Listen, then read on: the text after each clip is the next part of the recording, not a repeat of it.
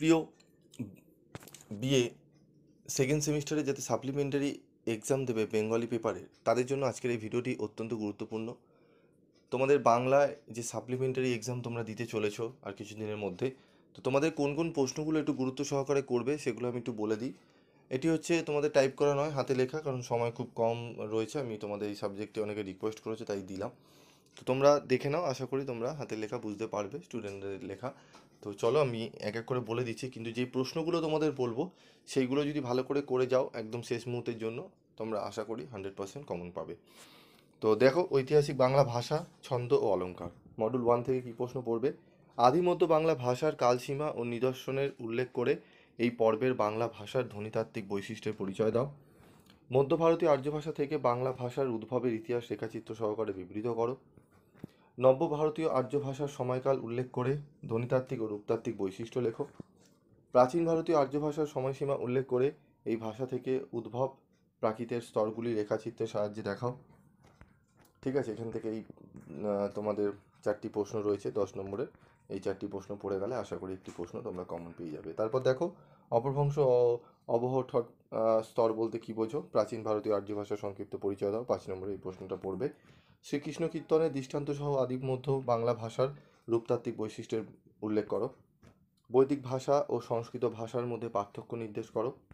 টিকা লেখো, সাহিত্যিক প্রাকৃত, বাংলা ভাষার যুগ বিভাগ, মধ্য ভারতীয় আর্য ভাষার অপভ্রংশ, বাংলা ভাষার ইতিহাসের যুগ বিন্যাস, এইগুলো।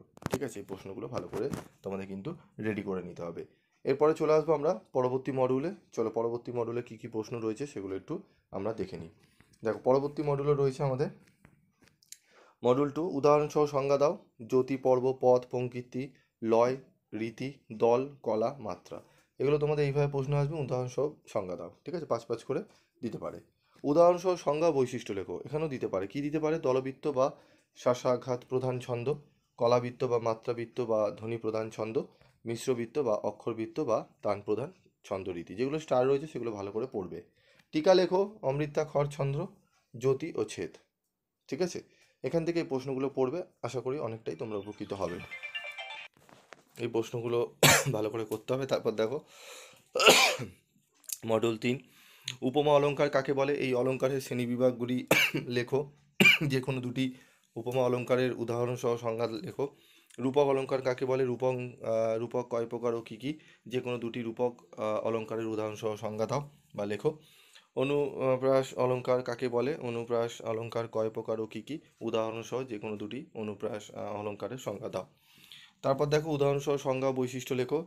উৎপেক্ষা সমাশক্তি শাখানুপ্রাস, ব্যতিরেক, ঠিক আছে? তারপর এখানে লেখো যমক, শ্লেষ, পূর্ণপ্রমা বক্রোক্তি এগুলো কিন্তু ভালো করে পড়তে হবে হ্যাঁ? ব্যাখ্যা সহ যে কোনো একটি কবিতাংশের অলঙ্কার নির্ণয় করো। এখানে বিভিন্ন অলংকার রয়েছে, তোমরা সেগুলো একটুখানি করে নিতে হবে। তোমাদের এই একটা প্রশ্ন একটুখানি আননোন দেবে, ঠিক আছে? এখান থেকে বলা সম্ভব না কোন অলংকার করতে দেবে। তবু আমি কয়েকটা উদাহরণ দিয়েছি, এগুলো একটু পারলে করে নিও, ঠিক আছে? তবে এই প্রশ্নটা বাদ দিয়ে তোমরা বাকি প্রশ্নগুলো ভালো করে করো, আশা করি তোমরা কমন পেয়ে যাবে। তো ভিডিওটি ভালো লাগলে অবশ্যই বন্ধুদের মধ্যে শেয়ার করবে এবং কমেন্ট বক্সে লিখে জানাবে তোমরা ভিডিওটি পেয়ে কতটা উপকৃত হলে এবং অন্যান্য আর কোন কোন সাবজেক্টে তোমাদের সাপ্লিমেন্টারি এক্সামে সাজেশন লাগবে।